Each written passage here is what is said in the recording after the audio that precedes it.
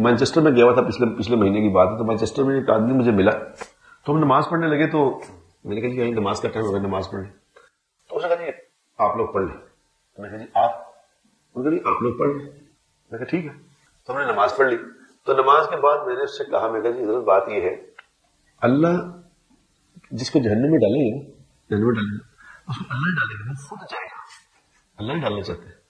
मैंने उससे कहा, मैं क्या चौई साहब कितना को बदनसीब वो आदमी है? कितना को बदनसीब आदमी है? कि वो सिर्फ़ नमाज़ ना पढ़ने पे जहन्नम में जाएगा। कितनी बदनसीबी की बात? क्या बेतुकी बात है कि एक सिर्फ़ नमाज़ पढ़ ली वो भी मैंने कहा फर्जी पढ़ लिया करो फर्जी पढ़ने होते हैं। इतनी भी जो नहीं पढ़ेगा तो वो अपनी नाहली पे जाएगा जन्म में। अल्लाह नहीं भेजा जाते उसे कितनी बुरी बात है। इतनी से पास पे आदमी जहन्नम में चला जाए। और अल्लाह साथ साथ ये कह रहे हैं कि एक नमाज़ से दूसरी नमाज़ तक जो गुना होते हैं वो नमाज़ की बरकत से माफ़ हो जाते हैं।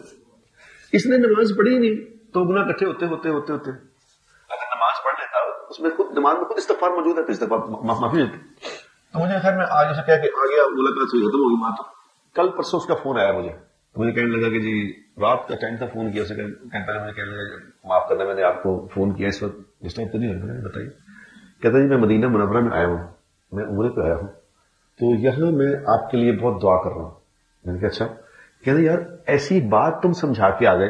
तुमने ऐसी बात समझा दी कि मैं उस बात को बार बार सोचता रहा, मेरे को, मैं एडा में लाया कि मैं एंड नहीं करता दोस्त जाऊँगा कहते, वो बात बार बार मेरे दिमाग में से थोड़े की तरह, हथौड़े की तरह लगती रही कि मैं एडा में लाया मैं एडा में लाया उस दिन से मैंने आज तक भजन नमाज़ नहीं छोड़ी और मैं अल्लाह से तौबा करने के लिए अल्लाह के घर आ गया अल्लाह मैंने माफ़ कर दे पिछली तो कहता, यहाँ आया हूँ तो सबसे ज़्यादा मुझे आप याद आ रहे हैं कि क्या क्या किस वक्त मुँह से निकली हुई बात क्या होती है?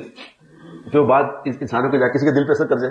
कौन कौन सी बात किसी दिलों को बदलने की ज़रूरत तो अल्लाह की है, किसी ने क्या बदला किसी के दिल को? इंसान इसका दिल बदल सकता अल्लाह ही समझाए तो समझाए। कोई नहीं समझा सकता? लेकिन पता नहीं किस वक्त कोई, कौन सा वक्त होता है।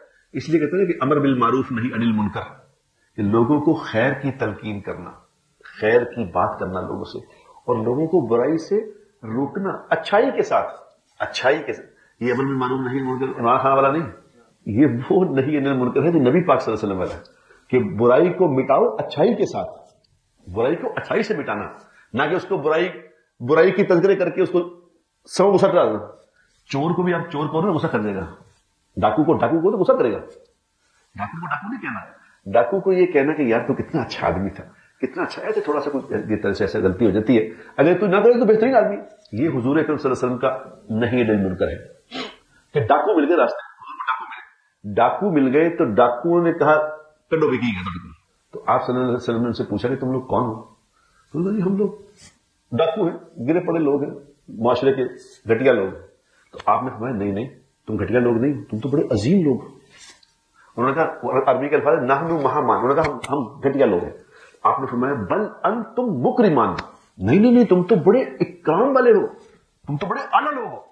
क्योंकि कुरान में अल्लाह ताला ने क्या करम ना बनी आदम। हमने इंसान पे कर्म फरमाया, इंसान को बेहतरीन बनाया। उस पर आपने फरमाया, तुम तो बेहतरीन लोग हो। आप कौन फरमाया, मैं अल्लाह का रसूल हूँ। उन्होंने कहा, आप ही हो सकते हैं अल्लाह के रसूल। क्योंकि हम तो हमें तो हमारी माँ ने कभी नहीं कहा कि तुम बेहतरीन आदमी हो। आप कह रहे हैं तुम बेहतरीन हो? तो आप ही अल्लाह के रसूल है, बस बताइए क्या करना है? आपने कहा कलमा पढ़ो मुसलमान हो। कलमा पढ़ के मुसलमान, उसी वक्त कलमा पढ़ के मुसलमान हो गए। ये है नहीं, अनिल मुनकर। ये नहीं कि बुराई करने वाले को उसके ताने मार मार के तू डाकू में तू चोर है, तू फलाना उसको और उस पर अच्छा और उस पर ले और कहते हैं